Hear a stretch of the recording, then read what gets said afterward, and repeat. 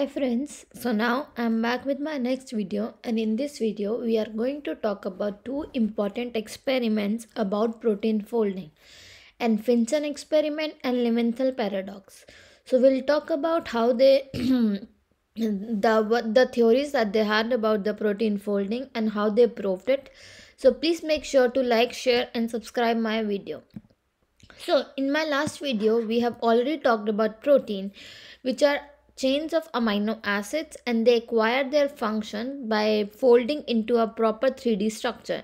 Like from unfolded to native structure by going from primary structure to secondary structure tertiary structure and then forming the quaternary structure.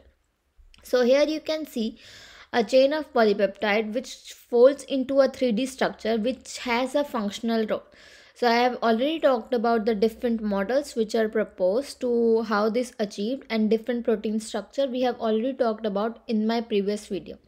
So if you want to know something about that, please make sure to watch that video. And there are different forces that are involved in protein folding such as hydrophobic effect, electrostatic interaction, disulfide linkage as well. So when we talk about protein folding so there are different problems. We we still don't know the solution of them. How the protein code decides the structure of the protein. The structure prediction because we still don't know whether it's random pred- like when whether it's random the folding of the protein or there is some information the structure information that the that the protein provides for the folding and how does it achieve like what is the folding speed and mechanism? Because we know there are different proteins which help in the protein folding but still we don't know the exact mechanism of protein folding. So Anfinsen uses this enzyme ribonuclease A to prove some of the some aspect of the protein folding. So just to tell you what is ribonuclease A, it's an enzyme as you can see the structure of this enzyme and all these things that you see in this yellow circle are the disulfide bond which is formed by the so you can see the reduced form the thiol group to thiol group and when they oxidize like the oxidized form is what is known as a disulfide linkage. So here you can see the disulfide linkage of the protein in the protein.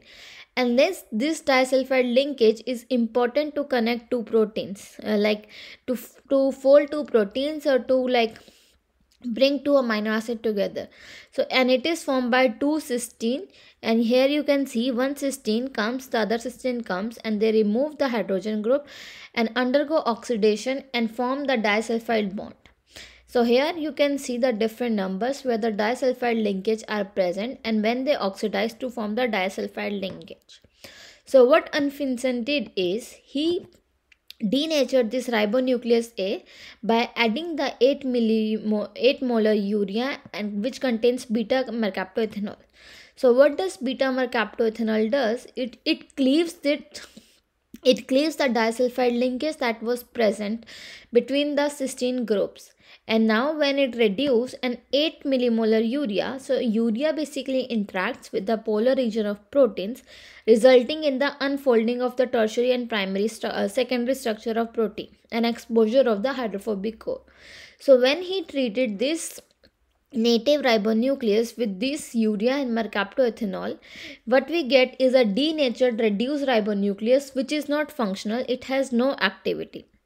But what was important was and surprising was when he removed the urea and beta mercaptoethanol and allowed the formation of the disulfide bond, what he observed that the disulfide linkage always form between the same same amino acid. So here you can see 2684 and here before also it was 2684 so how does the the structure the protein amino acid knows that it has to form the disulfide linkage like in this case 84 has to form the disulfide linkage only with 26 but not with 72 as you can see the renatured protein because we have 8 8 uh, 8 uh, sulfhydryl group so it can mix with any of the the the sulfide bond with any of the sulfhydryl group.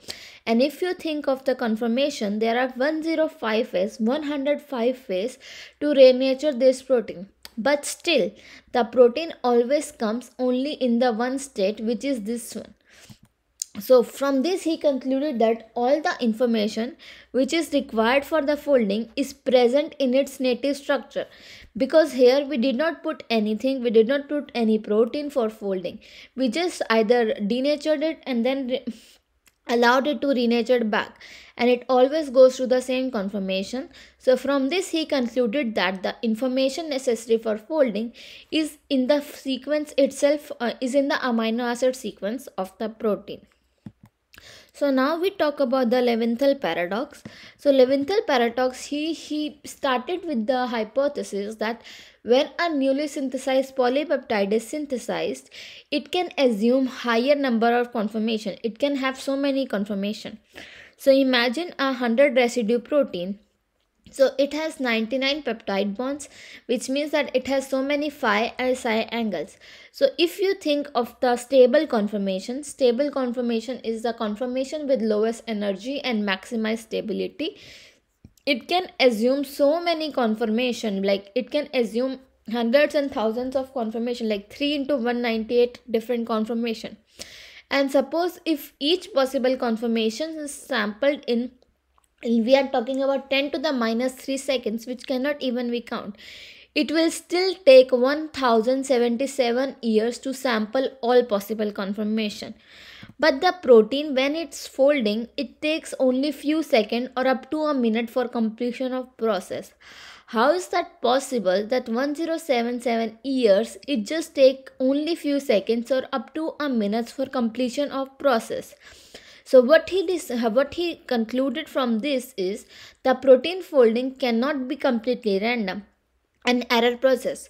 It's not like the protein folds and then it realizes, ah no, this conformation is not stable. We need to go to the another conformation.